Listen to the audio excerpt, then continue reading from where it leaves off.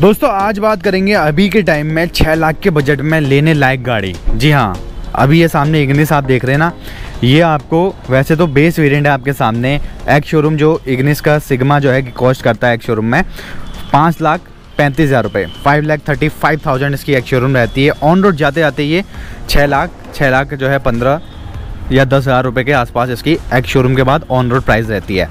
तो इस price point पे ना आपको इसमें फोर सिलेंडर इंजन मिल जाता है, जो कि बहुत रेयर है कि आपको इस प्राइस पॉइंट की जो है गाड़ियों पे ज़्यादातर थ्री सिलेंडर इंजन देखने को मिलते हैं। तो इसमें अब भी जो है फोर सिलेंडर का इंजन आ रहा है तो इसमें फटाफट से दिखाता हूँ आपको यहाँ से मैं इंजन वे यहाँ से ओपन करते हैं, यहाँ से इसका जो है इंजन फ्रंट का ओपन होता है। तो ये अब जैसी इग्निस अपडेट होके आती है ना, आप मान लीजिए अच्छे खासे इसके प्राइस बढ़ जाएँगे। तो अब भी जो है दोस्तों, इसे आप कंसीडर कर सकते हैं। ये है इनका पुराना जो स्विफ्ट में आता था इंजन 1.2 लीटर का, जो है फोर सिलेंडर वाला वीवीटी पेट्रोल इंजन जो कि 82 bhp की power 130 newton meter torque 113 newton meter torque के आसपास जो प्रोड्यूस करता है। बाकी माइलेज भी वही, मारुति का जो है इंजन है तो माइलेज भी अच्छी खासी। 21 से 22 की वैसे तो क्लेम करी जाती है, लेकिन आसपास आप आसानी से 19-20 का इसमें जो है आराम से ले सकते हैं माइलेज भी।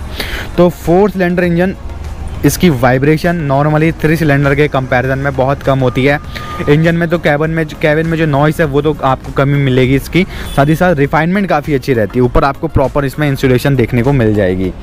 तो ऐसा कुछ रहता है। दोस्तों, कुछ आपको ऐसी मिलती है इसमें? सेंटर लॉकिंग जो है, इसमें इंस्टॉल करवानी पड़ेगी। इसमें नहीं आती है सेंटर लॉकिंग कोई भी। बाकी, अगर देखने की कहें तो देखने में काफ़ी अच्छी लगती है। मतलब सबसे पहले तो ये लगता नहीं है कि कोई भी आपका बेस वेरिएंट सामने खड़ा है, क्योंकि प्रॉपर क्रोम का वर्क इसमें बेस वेरिएंट से ही दे दिया जाता है, जो कि आप ये देख रहे हैं। क्रोम की जो है यहाँ पे पूरे यू शेप में, आपको बीच में लोगों के साथ में, ऊपर की जो है ये पूरा पोर्शन मिलता है। लाइटें आप देखेंगे लाइटें हेलोजन में रहती हैं इंडिकेटर भी हेलोजन में रहेंगे। फॉग लैम्प्स इसके इसमें नहीं आते हैं तो फॉग लैम्प्स तो आपको लगवाने ही पड़ जाएँगे।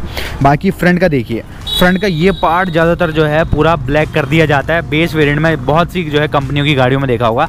इसमें पूरा बॉडी कलर का ही दिया है। मतलब सिल्वर कलर का दिया है, ये जो है ब्लू में भी काफ़ी अच्छा लगता है। ब्लू कलर में, बाकी ग्रे शेड में भी काफ़ी अच्छा जो इसका पूरा जो है कॉन्ट्रास्ट निकल के आता है। तो ये काफ़ी अच्छे लगते हैं जो है फ्रंट से प्रोफ़ाइल इसकी नॉर्मली वैगनार या फिर अल्टो के टेन जो है इस प्राइस में आ रही है ना, उनसे तो ये कह सकते हैं बहुत अच्छा ऑप्शन जो है यहाँ पे रहता है। फोर सिलेंडर में साथ ही साथ जो है इस अच्छे खासे जो है कह सकते हैं लुक के साथ में। और डायमेंशन की बात करूँ ना, अगर मैं इसकी तो डायमेंशन में भी जो है आपका इसमें काफ़ी अच्छा खासा सैंतीस सौ एम की जो पूरी ये गाड़ी रहती है, बात करी जाए, और इसकी जो है आपको व्हील बेस भी काफ़ी अच्छा खासा जो है देखने को मिल जाएगा। व्हील बेस की बात करें, चौबीस सौ एम का जो है इसका ओवरऑल व्हील बेस रहता है। और अगर हाइट की बात करते हैं तो पंद्रह सौ एम की इसकी हाइट है। ग्राउंड क्लियरेंस भी अच्छा खासा एक सौ अस्सी एम का दे दिया जाता है। तो डायमेंशन के हिसाब से जिस प्राइस पर आ रही है ये, जिस इंजन के साथ में आ रही है तो ये सारी चीज़ें आपको काफ़ी इसमें अच्छी मिल रही हैं। बाकी साइड फेंडर पे आपको इंडिकेटर मिलेगा।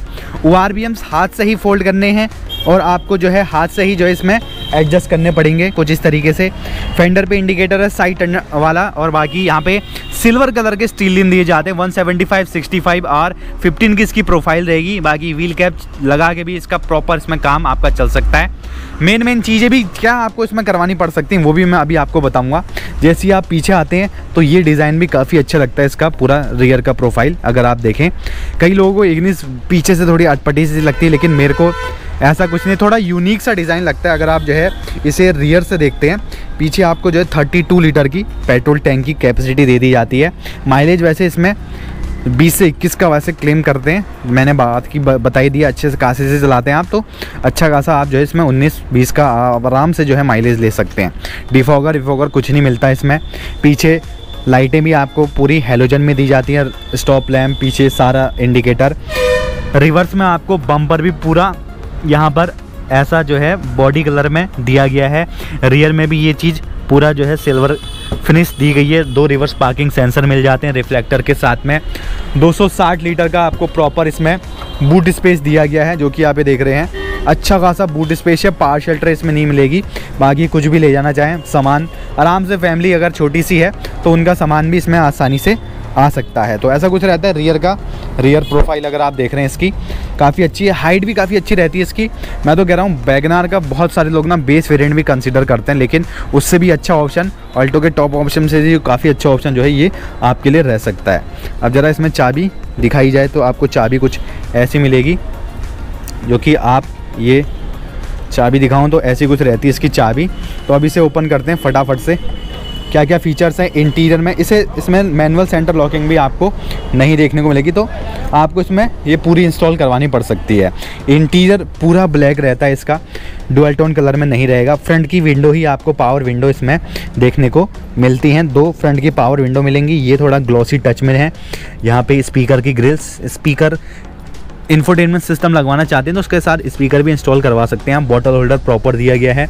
सीटें काफ़ी अच्छी जो है, काफ़ी अच्छे खासे अंदर थाई सपोर्ट के साथ में। फैब्रिक में ही मिलती हैं इसमें। बाकी सीट कवर लगाएँगे तो काफ़ी अच्छी जो है कह सकते हैं ग्रिपिंग आपको मिलेगी। इसमें काफ़ी चौड़ी भी लगेंगी।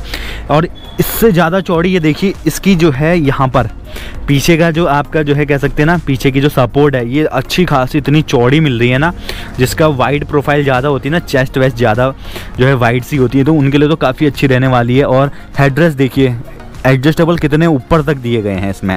तो ये एक यूनिक सा जो है इसे बना देती है। बाकी यहाँ से हेडलाइट की बीम एडजस्ट करेंगे आप। डैशबोर्ड का पूरा लेआउट सिंपल सा ब्लैक कलर का आपको इसमें देखने को यहाँ पर मिलेगा। स्टेयरिंग बेसिक सा है सिल्वर सार्टन फिनिश दी गई है बीच में सुजुकी का लोगो ये जो है हेडलैम्प के स्टॉक ये वाइपर के स्टॉक मीटर कंसोल एक बेसिक सा है। बीच में ये आपको जो है स्पीडोमीटर ऐसा जो है एनालॉग में मिलेगा। बाकी यहाँ पे आपके सारे इंजन आपको जो है लाइट से आपको इसमें प्रॉपर मिलेंगी। अभी बीच में अगर आप देखें तो यहाँ पर आप कुछ भी म्यूज़िक सिस्टम आफ्टर मार्केट लगवा सकते हैं, क्योंकि बेस वेरिएंट है तो बेसिक चीज़ें ही दी गई हैं। और प्राइस काफ़ी अच्छी लगी मेरे को इसकी। पूरा इंटीरियर ब्लैक है, यहाँ पर एसी मिल जाएगा आपको। नॉर्मल आपको एसी दिया गया है और 12 वोल्ट का ये आपको सॉकेट और यहाँ पे ग्लॉसी टच काफ़ी प्रीमियम बना रही है जो है यहाँ पे सेंटर कंसोल को। यहाँ पे कप होल्डर्स हो गए फाइव स्पीड का मैनुअल ट्रांसमिशन ये जो है पार्किंग ब्रेक हो गई। ऊपर आप देखेंगे, यार ये डे नाइट आईआरवीएम अगर कर देते थे काफ़ी अच्छा रहता। सिंपल सा दिया गया है। यहाँ पर आपको नॉर्मल लाइटें मिलती हैं। यहाँ पर आपका सनवाइज़र यहाँ पे भी सनवाइज़र सिंपल सा मिल रहा है। तो ऐसा कुछ यहाँ पे रहने वाला है इसका पूरा बेस वेरिएंट तो जो जो मेन मेन फीचर्स चाहिए, वो ही दिए गए हैं इसमें सिर्फ़ इस प्राइस पे। क्योंकि देखिए, इसमें पावर विंडो चारों नहीं मिलनी है, जो कि आपको वैगनार के बेस में भी नहीं मिलती हैं अल्टो के जो है टॉप में भी नहीं मिलती है। तो ये काफ़ी अच्छी चीज़ लगी मेरे को कि यहाँ अगर चारों पावर कर देते तो ठीक रहता, लेकिन प्राइस भी अभी वैसी की वैसी है। अब आने वाले अपडेट में शायद हो जाए, और बाकी यहाँ पे इंटीग्रेटेड हेडरेस्ट पीछे भी मिलते हैं आपको। बैठने की बात करी जाए तो आराम से मेरे जैसे तो तीन इसमें बैठ सकते हैं। बाकी कंफर्टेबली लॉन्ग जर्नी में तो दो ही लोगों के बैठने के लिए कंफर्टेबल रहेगी, क्योंकि बीच में अच्छा खासा हम्प आ जाता है इसमें। तो यहाँ से बैठ के पूरा काफ़ी स्पेसियस गाड़ी लगती ऐसा नहीं लगता कि आप इसमें एकदम घुट घुट के बैठ रहे हैं, क्योंकि जब सेगमेंट ऐसा होता है ना हैचबैक का तो बहुत देखना पड़ता है कि हमें लेग स्पेस कितना मिल रहा है, अंदर जो है यहाँ पर। हेडरूम कितना मिल रहा है, जिससे कि कंजस्टेड जो है लॉन्ग जर्नी पे होना ना पड़े। तो उस प्राइस पॉइंट पे अगर बात करी जाए, जो है छः लाख के प्राइस पॉइंट पे तो एक ये बढ़िया ऑप्शन जो है मेरे को यहाँ पर लगा, जो कि आपको पता लग गया होगा। तो यही थी दोस्तों आज की वीडियो इग्निस के सबसे बेस मॉडल के बारे में, जो कि सिग्मा वेरिएंट था।